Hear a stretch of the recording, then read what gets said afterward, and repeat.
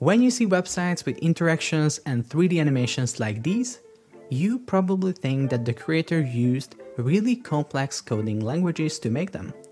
Well, that was true up until today. Framer, the designer's favorite no-code website builder, just released 3D transforms, which basically means that from now on, you can just jump onto the Framer canvas and project any layer in 3D space while keeping it completely editable. In this crash course, I'm going to teach you everything you need to know about 3D transforms, so you can also create websites with interactions and 3D animations like these without writing a single line of code, even if you are a complete beginner. My name is Nandi, this is Framer University, and let's get started. So I'm gonna break this video up into three sections. In the first section, we're gonna go through each transform that's been added to Framer, and we're gonna learn about what each one does. Then we're gonna put them into practice and see how we can use them together with components to create this 3D card flip interaction. At the end, I'm gonna also show you how you can use this new feature together with scroll transforms to rotate this 3D cube around on our website as we scroll down. So without any further ado, let's jump into the first section and talk about the new transforms. So as you can see, here I am in my Framer project and I have a little card here, which is basically just a frame, which has a background image set as a fill. And if I look on the right panel, we see this transforms section now, which is pretty much new. So if we click this, we see all the new options here. So I'm going to break these up into two categories just so you can understand them better. So the first category is called basic 3D transforms, which include scale, skew, and rotate. These are fundamental transformations that alter the size, orientation, or shape of an element in the 3D space. So when you, you know, apply them to the element, you can see their effect immediately. The other category is called transform modifiers, and these include depth, perspective, origin, backface, and preserve 3D. These are modifiers that change the appearance and behavior of already transformed elements. So it is really important that you will only see the effect of these if you apply them to elements that already have basic 3D transforms, so either a scale, skew, or rotate. So let's take a look at scale, for example. You can see that it is pretty simple. We can scale the element up or down. Um, so yeah, it's, it's pretty easy to use it. We have also skew, which is also really simple. We can skew it along the X or the Y axis. We have rotate, this is a bit more interesting because we can use either 2D or 3D rotation. So 2D rotation is really simple, you just rotate it around. However, if you use 3D rotation, now you have these X, Y, and Z options. And if you adjust these, you can see that the element now, you know, basically transforms in a 3D space. However, it still looks quite flat. So that's where a transform modifier comes in, which is called perspective. So if you want to make these 3D rotations look really 3D and you want to make sure that the 3D effect is more intense, you can apply the perspective modifier. So here you can use a bigger or smaller value. Basically, the smaller value you have, the more intense 3D effect you will get. So as you can see, if I use 500, this 3D effect is really, really intense. However, if I use 5000, it still looks quite flat. So I'm going to just apply 1200 here. And the really great thing about these transforms in Framer is that even though that now this element is transformed in the 3D space, I can still resize it really easily. I can just you know, do the same thing I do in Figma, for example, and just, you know, resize the element. Even I can just add a frame within this and I instantly see how my element will be placed within this 3D space. So it is really cool. I can also hit T on my keyboard and draw a text box here. I can write card here and I can just set the color to white. And oops, as you can see, it is uh, flipped around and that's why the text is mirrored. So I'm going to just flip it like this. So now we see the text correctly. So I can also just resize this text box here and place it anywhere. And I, as you can see, I can edit this element in the 3D space on this canvas here. And then I can just hit publish and it is live on the internet as a website. So Framer just got really, really powerful. And I'm going to show you guys what you can create with these. Every single example will blow your mind. So another transform modifier is origin. So if I zero out these rotations, you will see that I can apply origin here. And now the default setting is 50% on the X and 50% on the Y. This basically means that now the origin is in the center of this element. This is the default setting. So now if we start rotating this, you will see that it is being rotated from the center. However, if I change this origin to the, I don't know, top right corner, you will see that if I start rotating this now, it will be rotated from the top right corner. So basically the origin is specifying the transformation reference point within the element. That's pretty cool and it is easy to use. However, if you have a hard time figuring out how to position your you know, origin point correctly, I have this little graphic that I'm going to show you. So where it is, where it is origin. Okay, so here we have this little graphic.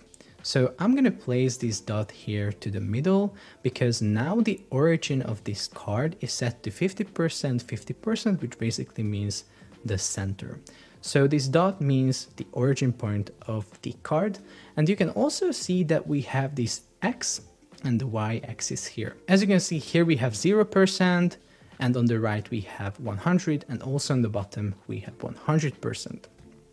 So now this dot is X 50% and Y 50%. So let's say I want to move these to the bottom right corner. What I have to do now is go 100% on the x-axis and also go 100% on the y-axis. So if I set 100%, 100%, I can now rotate this and you will see that the reference point is indeed in the bottom right corner. So if you ever have trouble setting this origin point with these percentage values, just look at this little graphic and it will help you a lot. So with these two cards, I want to show you another transform modifier, which is called the backface. So if I have this card here and start rotating it on the y-axis, you will see that I can flip this around and I will see the backside of the layer, which is basically just a mirrored version of the front face of the layer. So what if I want to hide this backside of the element? I can just add the transform modifier called backface and I can set the backface visibility to hidden. So now as you can see, if this element is flipped around, so we are seeing the backside of it, we cannot see anything because the backface is set to hidden. If we set it to visible, of course, then we can see it. But let's take a look at how this works in this other example because things get a bit tricky here. So on this other card, as you can see, we have a parent frame, which has a background frame, and then also another frame for the button. So these are within this card frame. Let's say I rotate this card around along the y-axis. You can see again, we see basically the same thing that we saw before. We just see a mirrored version of the content that we see on the front side of the element. However, what if we say that, okay, I don't want to see the backside of this background frame here. So I can set the backface visibility to hidden and for some reason it doesn't disappear. Like this is completely flipped around, but still the element that is within the layer that is being flipped around doesn't really, you know, do anything when I set it to backface visibility hidden. So why is this happening? The reason is that basically we are indeed rotating the card to around. However, the child elements, so the background and the button is not really rotating. You can see it clearly because the back face is still visible, so the background is not rotated around. If we add rotation here and flip it around, you will see that now the back face is indeed hidden because now the background element is also rotated. But what if I don't want to add this rotation here as well? I just want to make sure that Whenever this card is flipped around, all the other elements within that are also flipped around. So basically, they are within the same 3D space. And the way I can do that is by using another transform modifier, which is called preserve 3D. So if I add preserve 3D and set it to yes on the parent frame, that will basically mean that its child elements, so the background and the button, will be in the same 3D space, so they will also be flipped around. So now if I set the background to backface hidden, it will be hidden. If I set it to visible, it will be visible. You know, it might be a bit tricky to understand what Preserve 3D actually does, but I will try to explain to you in another example as well, just to make sure that you completely understand it. So now I just uh, rotated this around a little bit differently and I will come back to this card one. So I'm gonna set Y to zero and I will add another transform modifier which is a depth. So as you can see, if I increase the depth, this card is basically getting bigger or getting smaller. But it is not just a simple scale transform, it is, you know, called depth, so it must be different. It is different because it is moving this element along the z-axis. So in order to explain to you what is z-axis, I'm gonna pull up my browser because I have this little website here that will help us understand. So as you can see, we are here in the 3D space. We have a y-axis and we have an x-axis. Basically, that's what we see right here. Here in the middle, we cannot really see it, but I'm going to rotate it in a minute. We have the z-axis. So if I rotate this, you will see that we have the z-axis here. But since we are looking at this from this direction, the z-axis is basically pointing towards us. So in this case, the z-axis is again pointing towards us. So if we move the element alongside that axis, we can basically see that it is either coming closer to us or moving away from us and therefore getting smaller. It is really important that this only works if we have perspective applied to this element.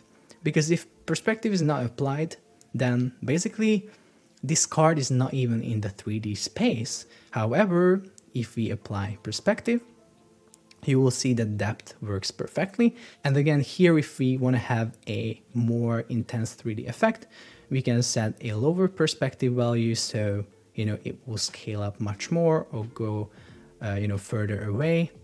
Or we can have a bigger perspective value and so then the you know scale effect of this depth will not be as uh, intense. So now let's take a look at what happens if we move this button with the depth. So as you can see, if I adjust the depth on this button, nothing happens. It is because we learned that in order to see the effect of the depth transform, we have to have the element within a 3D space. And as you can see here, it is not in a 3D space because it doesn't have perspective applied to it.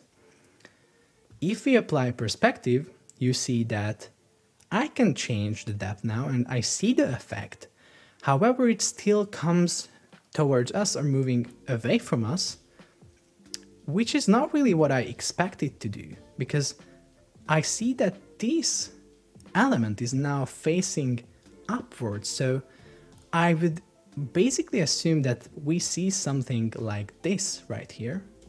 And so the z-axis is basically pointing to the top. So why it is not moving to the top? It is because even though I set a perspective value on this, it will not be in the same 3D space as the card 2 frame because that frame is its parent and that is the layer that is being rotated like this. And so we again see the same problem here that this child layer is not being rotated the same way as its parent. So again, this is where we can use Preserve 3D to fix these little issues. So I'm gonna go to card 2 and set Preserve 3D to yes. So now in theory, the button is in the same 3D space as its parent, so card 2 frame. So now if I move the depth, it will be moved alongside the z-axis, so to the top. So let's see what happens. And exactly, it moves to the top or to the bottom. So that looks pretty cool because now we can kind of like elevate it from, from this card. And if we rotate it around like this, it looks pretty cool as you can see. So I can just rotate it around and it will be nicely elevated from that uh, card layer. So what we learned about Preserve 3D here is that when we are transforming elements and we have multiple layers of elements that we are transforming around, we usually have to use this preserve 3D setting on the parent so that its child elements will also be within the same 3D space. And a little side note here, if we for example want to also elevate the text from the button, then we will also have to set preserve 3D on the button. So I'm gonna just rotate it a little bit more like this so we can see. So if I select text and then add transforms and I'm gonna select depth here, you will see that it, it doesn't do anything again. It's because even though we have preserve 3D on card 2, it is only making sure that the BG and the button is within the same 3D space. However, the get started text is not within the 3D space because it is nested further down. So if we want it to be in the same 3D space as the card 2, we have to also set the preserve 3D for the button. So I'm gonna set preserve 3D. So now as you can see, if I select this button and change the depth, you can see that I can also elevate it from the uh, button and I will not see it because the background is also black so I'm gonna just change the color here to maybe I don't even know what color I should do. Maybe I should just use gray. So you can see that now it is also in the same 3D space. So basically if you run into any issues maybe some transform is not doing the thing that you want to do then probably you should think about using Preserve 3D and making sure that each layer has Preserve 3D. So if layers are nested further down, each level should have a Preserve 3D. So now we went through all the transforms and learned about them briefly, but now let's move into the second section of this video and take a look at how we can, you know, take them into practice and use them with components to create interactions like this 3D card flip interaction.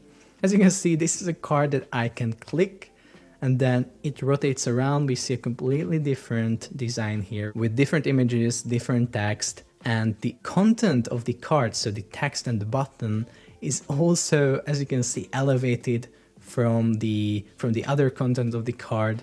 So it has this really nice 3D effect. So we're gonna go through each step uh, of creating this little card. So as you can see, we already have all the content that we need. So we're gonna just add all the transforms and uh, the needed variants for this little effect. So first of all, I'm gonna make sure that I turn this card component into a component. So I'm gonna press Option Command and K on my keyboard and hit create. So now as you can see, here we are on the component canvas and we can start applying transforms to these. So before I apply any 3D transform, I just want to quickly show you the structure of this little component. So as you can see, we have a layer here, a frame that houses two frames. One is called front and one is called back.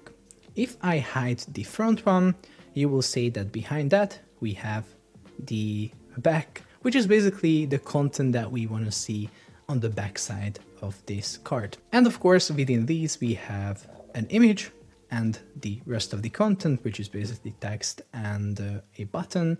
And we have the same content within the back. So let's take a look at what happens if we select these faces and apply a transform to that. So it's going to be a rotate. We're to have 3D rotation and let's flip this around. But as you can see is still pretty flat. So I'm to add the perspective that we learned about. I'm to use 1800. So now as you can see, it is pretty much 3D. And let's see what happens if we flip this around. You can see that we see the front content in a mirrored version. So it is nothing special. However, I just want to quickly tell you something. You cannot apply transforms to the primary variant here. So I cannot apply the rotation here and that's why I have these faces here that basically houses the front and the back face. So because I can add transforms to this and I can rotate the card like that. So that was just a little side note here. So now as you can see, we have these faces frame and I'm rotating it, but we can still see the front design. So let's take a look at what happens if we select the front and set the back face visibility to no.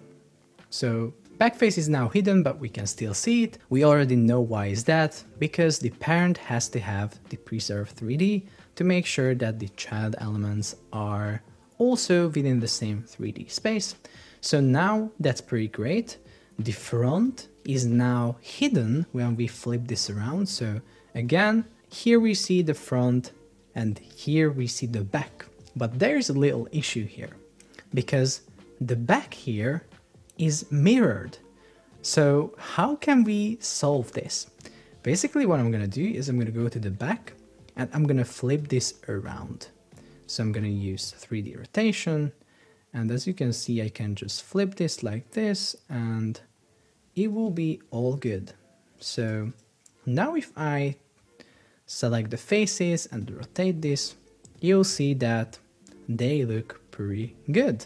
When I rotate this, the front disappears because its back face is set to hidden, and the back, you know, appears because that's the layer that is below the front, and it is not mirrored anymore because we basically counter that mirror by rotating it by minus 180 degrees on the y-axis. So that's it, that's pretty nice. However, what I also want to do is I want to make sure that the content, so the text and the buttons are elevated. So in order to do that, I will have to select the contents here and make sure that they have a depth transform. So I'm going to use depth here, but again, it doesn't really work. And that's because now I have to set the preserve 3D for the front and the back as well, because we learned that if we have multiple layers of nesting, we have to make sure that if we enter a new level, so here front and back includes you know more layers that will be transformed, that's why the back and front will also have preserve 3D. So I'm gonna set preserve 3D to yes. And now as you can see, the depth is working on the content. So now I just have to set a proper value. So I don't even know what should I use, maybe 44. So now if we rotate this face around, you will see that we get this amazing effect. So now all we have to do is to here on the variant one, have y on a zero, and then we can create another variant. And here comes the great part because here on another variant, I can just change this value, this rotation to minus 180, and that's it. I can also rename these, so front and back. And now all I have to do is to add interactions to these and Framer will smartly animate between these states. So I will start an interaction from front. I will just connect it to back. It will happen on tap. So when we tap front, we will go to back. And when we tap back, we go to front. Basically, that's it. We can also make sure that we have a little bit slower transition here by setting maybe 250. And we can now take a look at this.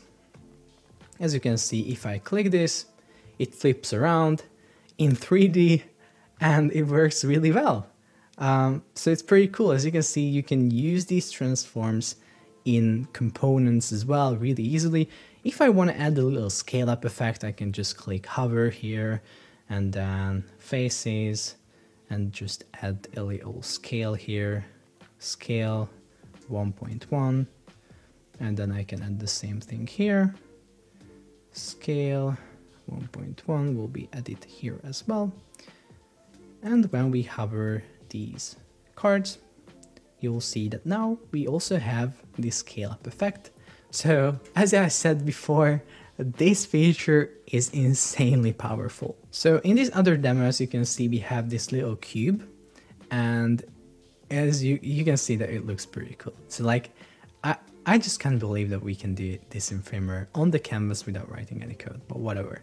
So what I want to do here is I want to show you that you can use these 3D transforms with scroll transforms as well. So you can trigger these transformations with scroll. So I will just set these back to zero because this will be the starting state because it, it looks quite funny that first you kind of think that this is just a rectangle and then you start scrolling and you see this 3D cube thing. Uh, it looks pretty good. So what I will do is basically I will select this cube and I will add a scroll transform. But before that, I just want to quickly, show you this little setup that I have. So basically, as I scroll down this page, this cube is sticking to the top of the viewport and it is sticking to the top of the viewport until we reach the end of this container. So as you can see, we have a longer container, it is 200 VH, which basically means that 200% of the given viewport. And then within that, we have the sticky frame, which is 100 VH, 100% of the given viewport, and, this is, and it is set to sticky. So basically it will stick to the top of the viewport until we reach the end of the container, which is right here. Um, yeah, sticky, just so you know, sticky only works if the parent frames, so container, main, and desktop are all set to overflow visible. So this is our basic setup. Now I can go here and make sure that the cube gets the scroll transform effect. This scroll transform will be triggered with a section in view because we also have a scroll section for the container.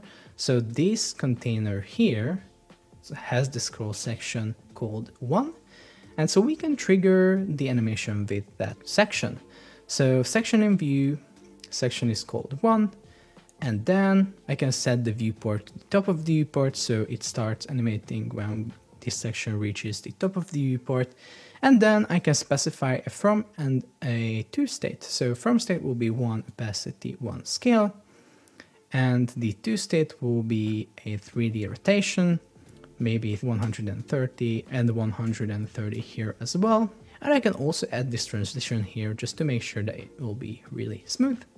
So if I take a look at this, as you can see, as I start scrolling on this page, this cube starts rotating around. And I did this in Framer on the canvas without writing any code. And again, it's, it's pretty cool. Like, look at this. I can just rotate this cube like this. And then I have all these front, back, bottom, right. These are basically the sides of this cube. And if I want to make the right side a little bigger, I can just do this. And I can edit it in the 3D space. Show me another tool that allows you to create websites without coding and has this feature. You will not be able to do that. I'm just gonna tell you this. Framer is the first to do this on a freeform canvas, and it is just amazing. So yeah, that's all you need to know about 3D transforms in Framer. If you want to learn more about Framer, make sure to check out Framer.university. I have a bunch of more free resources and lessons like this on that website, and I'm pretty sure that those will help you master website building with Framer. Make sure to like this video, subscribe for more, and I'm gonna see you in the next one.